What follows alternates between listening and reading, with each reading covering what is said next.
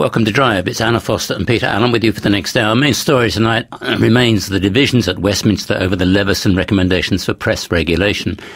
Uh, victims of press intrusion have now launched a campaign to try to persuade Parliament to implement the proposals in full.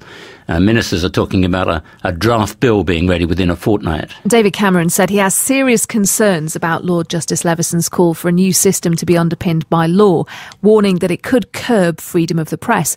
But the Labour leader Ed Miliband has joined the Liberal Democrat leader Nick Clegg in supporting a new press law. And campaigners are on that side too. They say they've got about 16,000 signatures to a petition launched at lunchtime by two witnesses to the inquiry Christopher Jefferies, who was wrongly linked to a murder in Bristol, and Gerry McCann father of missing Madeleine. He's shown himself to be too much the friend of certain MPs in his own party and indeed certain press barons and press editors. Well, I think this is an opportunity, not just for Mr Cameron. He isn't the only person that's voting. This is an opportunity for our politicians to redeem themselves a bit. Clearly, the public want it. There's been a public inquiry, a judicial review, and I think the recommendations should be implemented. Martin Campbell is a former chief advisor to Ofcom, current chair of the Broadcast Journalism Training Council. Martin, good evening.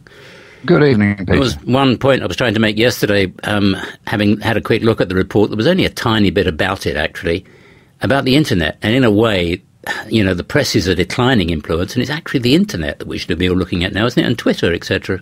I, couldn't agree more. I, I, I congratulate you on having a quick look through through that document. Oh, somebody told but, me there were a couple of hundred words, and it was only, you know, to be fair to him, nobody said to him, look at the internet. But I mean, without no, it, no, uh, but, controlling but that, the way people libel each other is pretty difficult, isn't it? Absolutely. I mean, I, I think that you've, you've put your finger on the most important bit of this. And what Leveson did say in his report was that he did describe the internet as being the elephant in the room. Because newspaper regulation is now inextricably linked with the broadcast, with video, with internet, with blogs, social network sites. I mean, Newsnight and This Morning showed that. The phone hacking, it's all, it's all part of the yeah. digital era. So the whole area needs to be looked at. So in a way, Le- Leveson is, is piecemeal because, you know, sooner or later they have got to be brought together. Um, it's a bit, I think it's a bit of a waste of time looking at newspapers in isolation now because this is the digital era. You know, so something like the Daily Mirror is not the sort of political mallet that it was. It's a different beast from those days. But but politicians don't seem to understand that. They don't understand the new roles of right. the um, of the different platforms. And then we get to the political debate, which is all about whether or not you use the law or you have to underpin all this with the law. Is that a legitimate debate? I mean, do you understand exactly what sort of law you would need? Does anyone really understand exactly what sort of law is required? No.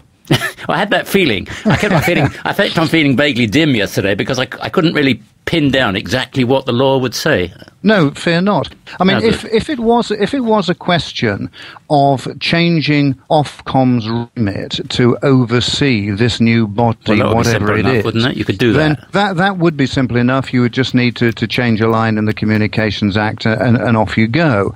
I can't get my head round, you know, a, a draft bill by a government that doesn't actually want it. But I mean, th- there are a couple of truisms here, Peter, with with regulation. One is that self regulation isn't regulation. Uh, however you try and dress it up, it isn't. Light touch regulation isn't really regulation. So you have to look at exactly what you want to do. And I'm not sure that, that people are, are quite clear on this because you have to look at the sort of freedom we're protecting. Now, young journalists, if you take something like contempt of court, young journalists, they know the rules of contempt. They know where the barriers are. If they go through something like a BJTC course, and I'm sure you went through one as well, you know exactly where those contempt barriers are.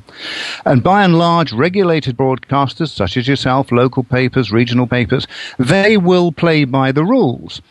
It's the editors of big papers and media moguls. They don't because they're powerful. And in the past, the um, the CPS the police, politicians have, have mainly stood by and let them do it. They do things that regional newspapers and broadcasters wouldn't do. So if we're not careful, we're sort of protecting the right to abuse free speech at a certain level rather than actually protect free speech. Uh, well, uh, is, it, is your feeling if the laws were really implemented and if we really, the contempt law, for instance, is routinely in, in national papers simply ignored, I mean, if, we, if it were really uh, observed, then perhaps half the problem would go away. Yes. Yeah, yeah. and if, if, if that was going to happen, but I mean, David Cameron quite clearly has painted himself into a corner here because you know he is effectively coming out with the last chance saloon argument. Well, you know, I wish I had shares in the last chance saloon, and so you you have to look at what you want to regulate, and you have to bite the bullet because self-regulation is clearly not going to work. But I don't think that Leveson's brief. I know this is an awful thing to throw in at this time, but the brief wasn't wide enough because newspapers newspapers do not operate in isolation anymore. You know, the whole phone hacking thing showed that. The whole Newsnight thing showed that. The, you know, newspapers are not an isolated platform anymore. Do you expect then, as a result of this great debate, what will actually emerge, do you reckon? Well, I mean, I, I, think Leveson has probably kicked it into the long grass by default. I don't, I don't think he meant to. But, you know, the newspaper, I mean, the PCC, Lord Hunt seems to be going away thinking he's, he's going to run this thing. The politicians are being told by Leveson that, that they're going to run this thing.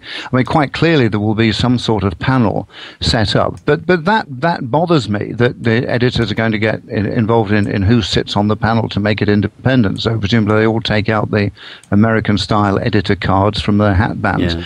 and, and, and sit down and we all go over it again. But, you know, self regulation is not regulation, but I think they need to be clear exactly what they want to do. That's uh, Martin Campbell, former advisor, chief advisor to uh, Ofcom. Thank you.